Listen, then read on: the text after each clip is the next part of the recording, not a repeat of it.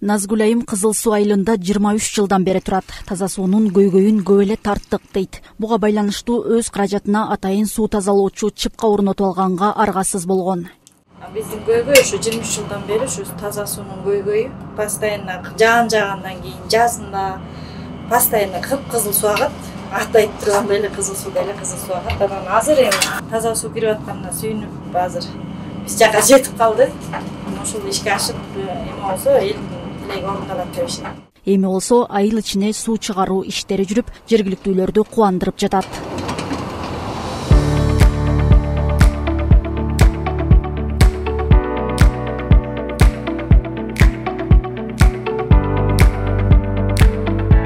Кызыл суу айылында калкты таза суу менен камсыздоо жагы көйгөй болуп келген.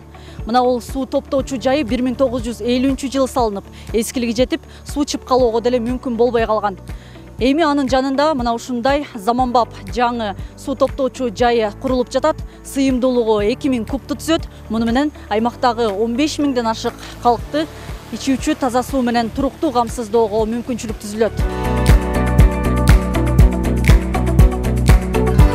Кудайым буюрса мына эки миң жыйырма үчүнчү жылда ушул тунук суу долбоору башталып э, бүгүнкү күндө курулуш иштери жүрүп атат бул долбоордун сметалык баасы үч жүз жыйырма бир миллион сомдук каражат менен курулуп атат резервуар салынат миң кубтуктан экөө э, размери биягы туурасы он эки метр жыйырма төрт метр. Узунунан биякка түшөт бийиктиги төрт метр. Миң куб суу атат э, бирөөсү бир миң кубтук бияка ошол эле размер бул жерге түшөт элге суу кетчү жак приямок деп коет бул жер. Ушул жерден суу толуп давление менен ушундай толуп туруп трубага түшүп элге суу кетет. Бул резервуар бетонный салынат бетонный салынгандан кийин дагы үстүнөн топурак менен көмүлөт кайра. Долбоор мамлекеттин колдоосу менен ишке ашууда элетелин ичүүчү суу менен камсыздоо иштери эки миң жыйырма бешинчи жылы аяктайт. Андан соң дароо саркынды суу тутумун жөнгө салуу аракеттери көрүлөрү мерчемделген бул долбоордун негизинде биз кызыл суу айылына таза суу киргизип беребиз жана ошондой эле канализациясы менен чогуу киргизип беребиз. Долбоор негизинен эки областта ишке ашып жатат. Ысык көл жана баткен областтарында бул долбоордун алкагында ысык көл области боюнча үч э, айылга киребиз. Бул райондук центрлардын экөө бакамбаево кызыл суу анан бир айыл кажы сай айылы калкты таза суу менен камсыздоо демилгеси облустун мындан башка дагы район шаарларында ишке ашып жатат. Алсак түп районунун күрмөнтү ак булак жана кичи өрүктүү айылдарындагы таза суу чыгаруу жумуштары дээрлик жетимиш пайызга аяктап калды. Ак булак айылында да саркынды сууну тазалоочу курулманы жүзөгө ашыруу боюнча долбоор иштелип жатат. Э, ак булак менен күрмөнтү эки айыл биригип тендер боюнча э, общий сложности э, жүз отуз миллион сомдук долбоор. Ошол сеттер бүткөндөн кийин э, параллельно колодецтер коюлуп атат. Бул э, алты үйгө беш үйгө бир э, жанагы колодец коюлат дагы ошол жерден анан суу ар бир үйгө өзүнчө бөлүнөт. Ар бир ошол колодецтин ичине счетчиктер коюлат. Общий сложности ошол бизде үч жүз он жети колодец коюлат. Эки айыл боюнча долбоордун эң эле артыкчылыгы жергиликтүүлөрдүн жашоо шартын санитардык абалын жакшыртууга багытталып кайтарымсыз гранттар аркылуу иш жүрүүдө. Көрсөтүлгөн көмөктүн өлчөмү жүз доллардан үч жүз долларга чейин ушу субсидия боюнча жумуш жаңы эле башталгандыктан бир он чакты эле үй бүлөлөр кайрылды. Азыр биз алардын өтүнүчүн кабыл алып документтерин даярдап койдук. Ар бир кожолукка берилет бул кайтарымсыз акча. Көбүнчө эле ушул тургундар ойлойт сразу акчаны берип анан курабыз деп. Жок андай болбойт. Өзүлөрүнүн үй бүлөсүнө өзүнүн балдарына өзүлөрүнө шарт түзүп аткан үчүн өзүлөрү салыш керек. Бирок биздин көзөмөл менен. Анткени бул э, көп убакытка чейин аларга кызмат кылыш керек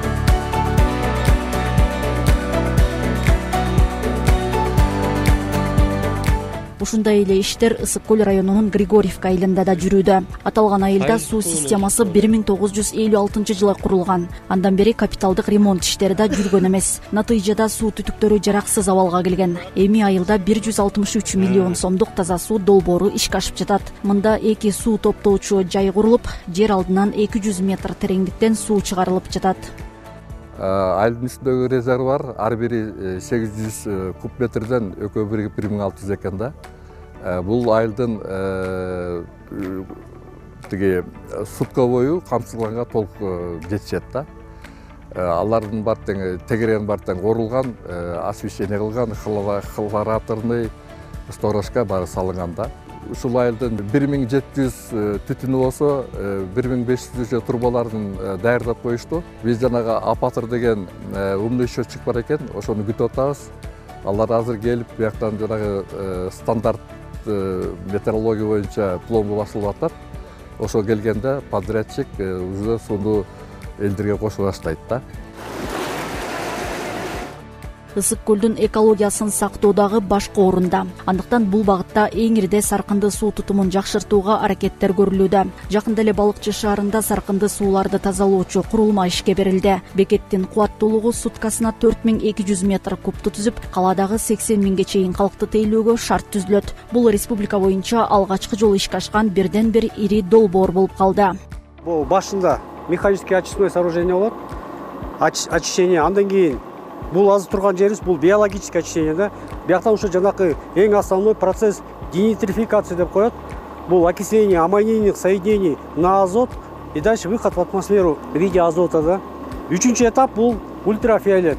Азыр біз тұрған жерде вот именно бұл тұрған жер бұл именно какой то аэробная зона да. Это то есть денитрификация происходит за счет подачи кислорода. Ең ағында тазалағанда почти 95 процентмен су тазаланады шыққан су дальше эмеге кетет поливке кетет. Оролдун сырттарында ар кайсы жерлерде казылып септик колдонуп келген. Э, эми мына ушул саркынды суу тазалоочу жайга ар бир балыкчы шаарынын тургуну ар бир үй бүлө ушул кошулса дейм